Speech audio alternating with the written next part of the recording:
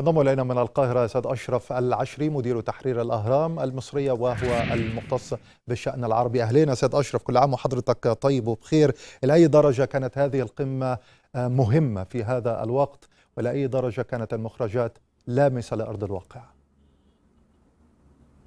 مساء الخير أستاذ محمد كل سنة وحضرتك طيب رمضان كريم بكل تأكيد. هذه القمة جاءت في توقيت بالغ الأهمية نظرا لطبيعه وخصوصية العلاقات بين القاده الثلاث. هذا الاجتماع الثاني كان في الشهر الماضي اجتماع في العقبة. شارك فيه أيضا طرفين عربيين المملكه العربية السعودية والعراق.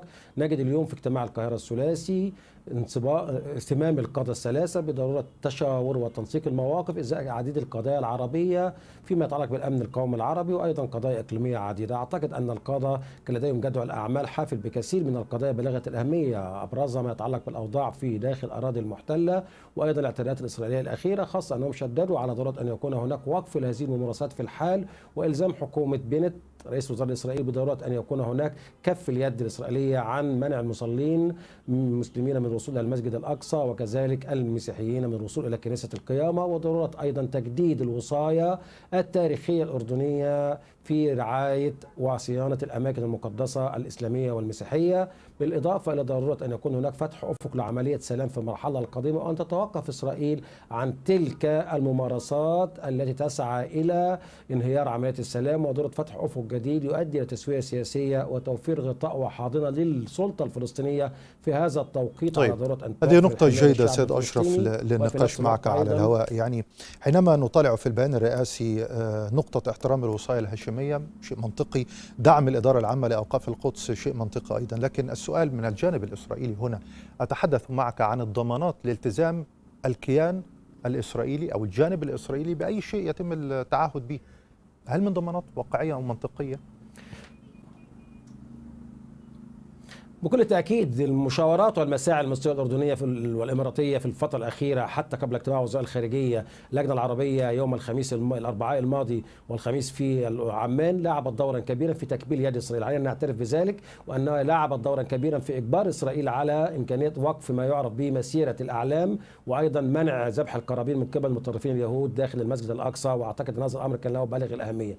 استمرار الاعتداءات الإسرائيلية قوبلت بكثير من الرفض المصري والأردني والإماراتي والعربي والإسلامي وصل الأمر الاداره الأمريكية أرسلت وفد أمريكا رفيع المستوى زار المنطقة في الأيام الماضية وحصل على تعهدات في محاولة لارضاء الجانب الفلسطيني والجانب العربي وبالتالي هذه القمم وهذه المواقف العربية تلعب دورا كبيرا في إسقاط الجانب الإسرائيلي وشل يده أو على الأقل وقف يده عن تلك الممارسات وفي نفس الوقت أيضا تعطي للمجتمع الدولي رسالة وإنذار مسبق بضرورة أن يكون هناك التفاته دولية من قبل الأمم المتحدة لتفعيل القرارات الدولية والحفاظ على ما تم الاتفاق عليه من حيث الوصايه الاردنيه ومن حيث قرارات الأمم المتحدة ومن حيث أيضا قدسية الأماكن المقدسة لأن أي عبث سيطلق شرارة أعمال عنف في المنطقة. مفهوم لن تتوقف داخل الأراضي المحتلة سيكون لديها تأثيرات في المنطقة وأيضا تنال المصالح الأمريكية والأوروبية. ومن هنا نجد أن هذه المرة بعيدا عن رمضان من العام الماضي نجد التحرك المسبق من قبل العواصم العربية والإسلامية أدت إلى حد ما إلى تحقيق مكاسب الشعب الفلسطيني وفي نفس الوقت أيضا كبلت يد الجانب الإسرائيلي.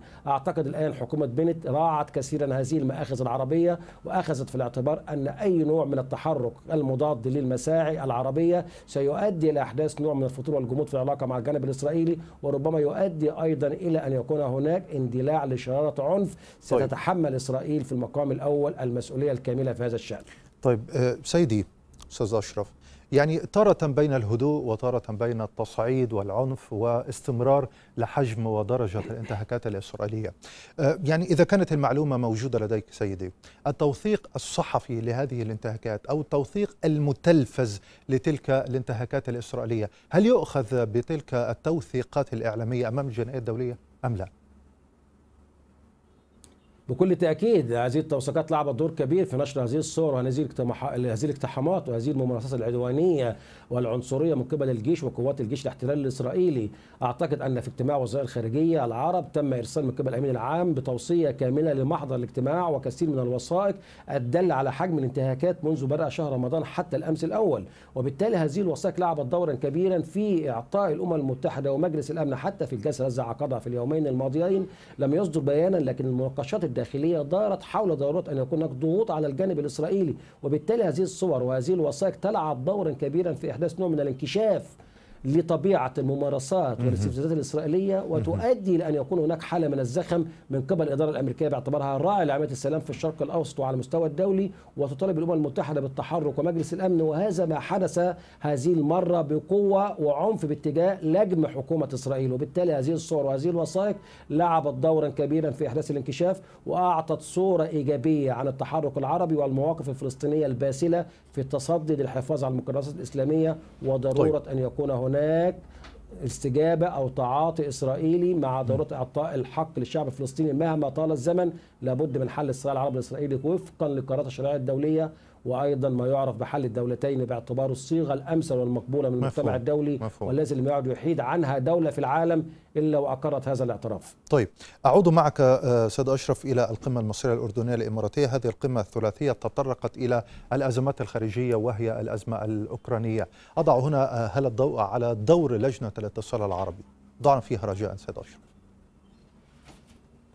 بكل تأكيد هذا العنصر كان عنصر بارز أن القادة الثلاث راعوا فيما يتعلق بالتحديات الإقليمية الناتجة عن الضربات الارتدادية لهذه الحرب الروسية الأوكرانية فيما يتعلق بأزمة الأمن الغذائي والطاقة وتداعياتها في حالة التضخم في الشرق الأوسط وفي المنطقة وما لديها من تأثيرات سلبية على المنطقة. هذا الأمر أدى لأن يكون هناك تفاعل من قبل القادة الثلاث خاصة أن لجنة الاتصال العربية لعبت دورا كبيرا في زيارة موسكو وفي زيارة أيضا كييف وأيضا بولندا ودعت الأطراف الروسية والأوكرانية بضرورة أن يكون هناك نحي نحو اتجاه حل الأزمة سلميا وضرورة أن يكون هناك التزام بكافة الاتفاقيات الموقعة فيما يتعلق بالأمن الغذائي مع العالم العربي والحفاظ على الحصص المقررة في هذا الشأن وضرورة ألا يكون هناك ضربات ارتدادية تؤثر بالسلب على الأمن والاستقرار في منطقة الشرق الأوسط. لجنة اتصال لديها مبادرة حميمية لم تأتي نتائجها بعد لكنها سجلت موقف عربي بالغ الأهمية والقمة اليوم أتت لتوفر الحاضنة لهذه اللجنة وفي نفس الوقت أيضا تعزز المواقف العربية بضرورة حل هذا النزاع حلا سلميا والا يكون لديه تأثيرات على مستقبل الطاقة والأمن الغذائي في المنطقة باعتبار أن المنطقة تأثرت مفهوم. مثل كافة دول العالم والقادة أخذوا في الاعتبار توفير الاحتياطات اللازمة من امكانيه مساعدة دول العالم العربي لمواجهة تداعيات هذه الأزمة على مستوى الطاقة والأمن الغذائي في هذا الشأن. طيب يا أستاذ أشرف حديث قديم متجدد معك دوما على الهواء العمل العربي المشترك لكن دعنا جانبا يعني نضع جانبا الشأن السياسي الاقتصادي والاستثماري. هل تطرقت هذه القمة إلى آه، هذا الشق خاصة في ظل الأوضاع الاقتصادية والمعيشية المأمولة أو المرتقبة للشارع العربي؟ عزيزي محمد بكل تأكيد علينا نضع في الاعتبار أن العمل العربي في العامين الماضيين أخذ منحى جديد بتعاطي إيجابي لأول مرة منذ سنوات بعد حالة من التكلس والتراجع والخلل في المشهد العربي وجدنا مجموعة من القمم على المستوى الثلاثي والرباعي وزيارات متبادلة بين القادة والزعماء أدت إلى أن يكون هناك بالفعل توفير حواضن اقتصادية وتنموية بين العواصم العربية. حجم التجارة البينية ارتفع لأول مرة منذ أكثر من 20 عاما وجدنا اهتمامات من قبل دول عربية رائدة كالمملكة العربية السعودية والإمارات والكويت وغيرها لضخ استثمارات بالغة في الأردن وفي مصر وفي عواصم عربية. بالإضافة لتقديم مساعدات وحزم مالية إنقاذية لعبت دورا كبيرا عبر ما يعرف بالحزم الإنقاذية لمساعدة الاقتصاديات العربية في المنطقة بعد أزمة كورونا وبعد أيضا الحرب الأوكرانية الروسية. هذا العمل العربي أخذ منحى جديد في العامين الماضيين. أصبح لديه تأثيرات إيجابية. نعم بالفعل عما كان قائما في السنوات الماضية. وينتظر أن يكون هناك لصندوق النقد العربي وأيضا مساهمات الاقتصادية العربية دورا كبيرا في تخفيف حدة الأزمات الناجمة عن الأزمات الدولية التي تجني للأسف الشديد العالم العربي بعد تداعياتها وأثارها السلبية في هذا الشأن.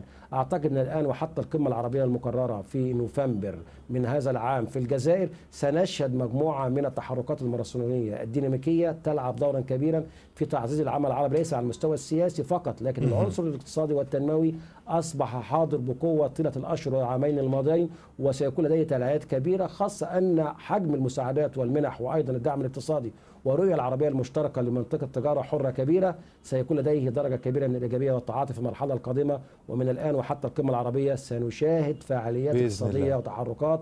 تصب في خانة توفير استحقاقات الدعم والحواضن الاقتصادية لعواصم عربية لسد العجز بعد أزمتي كورونا والحرب الأوكرانية الروسية. شكرا جزيلا أشرف العشري مدير تحرير الأهرام المصرية وهو المختص بالشأن العربي. أشكرك جزيلا على كل هذا الطرح. شكرا يا أستاذ أشرف.